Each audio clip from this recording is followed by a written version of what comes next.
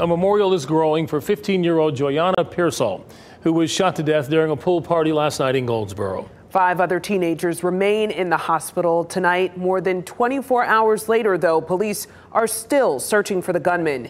WRAL's Aaron Thomas joins us live now in Goldsboro, where close to 200 people came out to pay their respects in a community wide vigil. It was moving to see Aaron.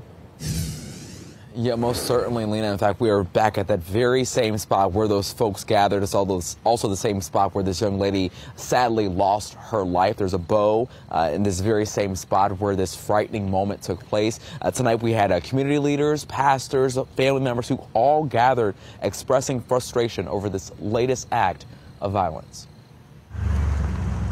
An outpouring of love and support on full display in honor of 15 year old Joyonna Pearsall. And it's tragic that this happened to her. Jomo Jones sprung into action just hours after the 15 year old was shot and killed. Father, we need mercy in this situation. Organizing a vigil with more than 160 people in attendance. Sometimes it takes one event to make a change, and I'm, I'm praying that this is the change that's going to make change Goldsboro and the climate in our city.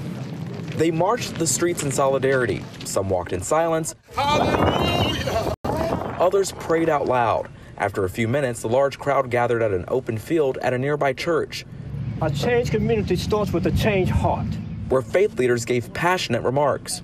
Goldsboro Mayor David Ham stopped by with the call to keep this from happening again. It takes the community, it takes pastors, it takes parents, it takes uh, uh, school teachers, uh, uh it takes fellow students to, to work together and try to come up with some solutions. A community left hurting, and family members like Joyonna's Aunt Maria Bell asking for whomever caused this pain to come forward. Holler like a canary, mm-hmm. sing like a bird, because if you don't, it'll be on your weight, it'll weigh on your spirit.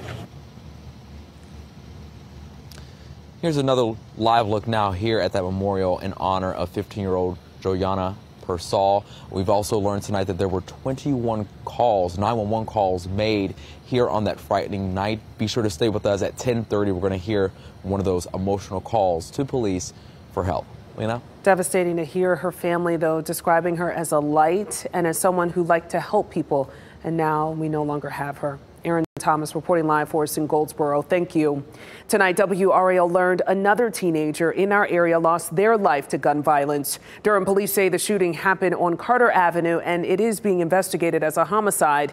WRAL's Eric Miller joins us now live in Durham. Eric, 2023 has been a tragic year for gun violence for teens in that community.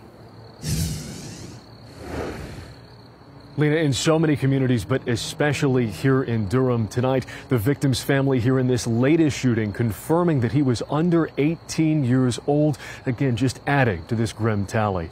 You take a look at some of this video here. This, this has been a marathon investigation here on Carter Avenue. Police first got the call around 1230 this afternoon for a suspicious death.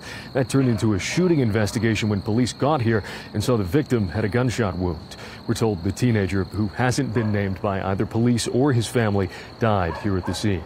All afternoon, we've had forensics teams poring over evidence alongside nearly a dozen officers and a mobile command unit here on scene as well.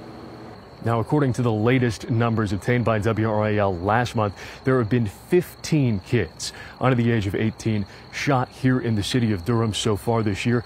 This latest shooting would make that at least 16 kids. Mm. Lena. Eric Miller reporting live for us in Durham.